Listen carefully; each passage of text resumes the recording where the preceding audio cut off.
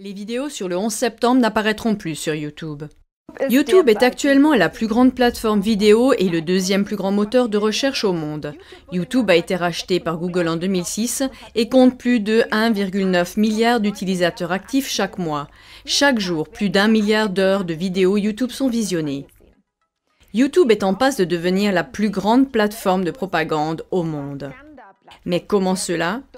YouTube a écrit le 25 janvier 2019 dans son blog officiel qu'ils cesseront tout prochainement de montrer dans leur système de recommandation des vidéos avec des prétendues théories de conspiration. Littéralement, ils ont écrit Nous réduirons les recommandations de contenu limite qui pourraient désinformer de façon néfaste les utilisateurs comme les vidéos qui prétendent que la Terre est plate ou font des fausses déclarations flagrantes sur des événements historiques comme le 11 septembre. Les prétendues vidéos de conspiration ne sont pas supprimées mais cachées. Par exemple, elles ne devraient plus apparaître dans la barre de recommandation à droite du lecteur vidéo ni dans d'autres suggestions de vidéos. Il s'agit d'une intervention aux conséquences massives, car l'expérience montre qu'au moins 40% des vues se font au travers de recommandations. Il est temps de prendre position. Cette restriction prévue par YouTube est un coup direct porté au journalisme d'investigation et à la liberté d'expression et constitue un nouveau grand pas vers un diktat direct des opinions. Chère équipe YouTube, n'avez-vous jamais sérieusement considéré les incohérences qui entourent le 11 septembre?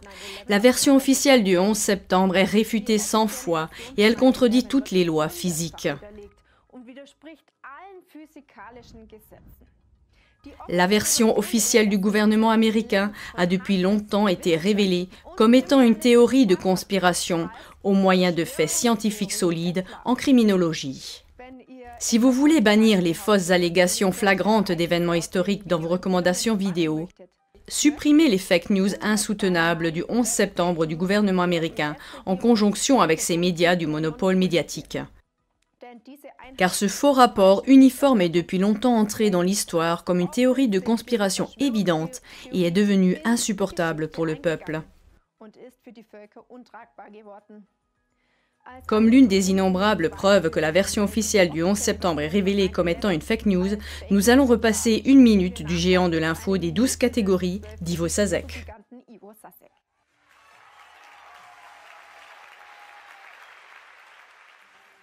Ce qui est arrivé aux tours jumelles le 11 septembre 2001, suite aux impacts des avions, serait une impossibilité physique, car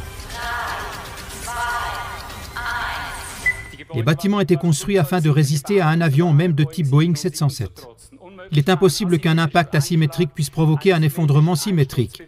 Il est impossible que deux avions puissent faire tomber trois gratte-ciel, mais la tour 7 est aussi tombée il serait impossible que le carburant des avions, après avoir explosé dans une grosse boule de feu, puisse quasiment pulvériser 110 étages comme cela s'est produit. Des poutres d'acier de plusieurs tonnes ne peuvent être projetées à des centaines de mètres sur les côtés seulement en cause d'un incendie. Il est impossible qu'un peu de kérosène réduise en poussière 100 000 tonnes de béton. Il est impossible que du kérosène encore en l'air réduise en poussière d'énormes grilles d'acier. Mais la termite, oui, de tels résidus nucléaires ont été trouvés partout dans les décombres. Les réservoirs d'eau des bâtiments n'ont pu rester intacts que parce que les 110 étages ont presque tous été pulvérisés en chute libre.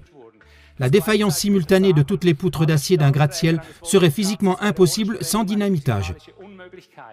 Il a été impossible que le Nice fasse des recherches sur des explosifs car les restes d'acier ont tous été expédiés en Chine dans un délai de deux semaines, avant même toute enquête. Conclusion. Il est temps pour YouTube d'améliorer l'expérience des utilisateurs en bannissant de ses recommandations les vidéos de théories de conspiration insupportables des médias du monopole médiatique. Il est temps que les théories de conspiration du gouvernement américain sur le 11 septembre, en conjonction avec les médias du monopole médiatique, soient enfin stigmatisées sur le net comme intentionnellement trompeuses.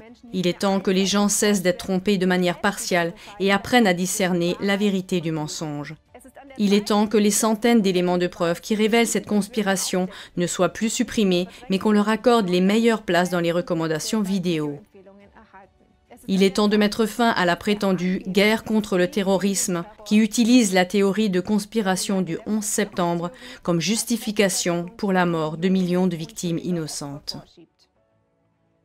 YouTube, assumez votre responsabilité en tant que plus grand portail vidéo à ce jour et ne favorisez pas la censure, ce qui fait de vous un outil de propagande des. Les gens vous en remercieront, sinon ils trouveront un remplaçant. Seul le mensonge a besoin du soutien de l'autorité de l'État. La vérité peut se tenir droite toute seule. Envoyez cette vidéo à vos amis, connaissances et parents via YouTube, Instagram, Facebook, Vimeo, Twitter, BitChute.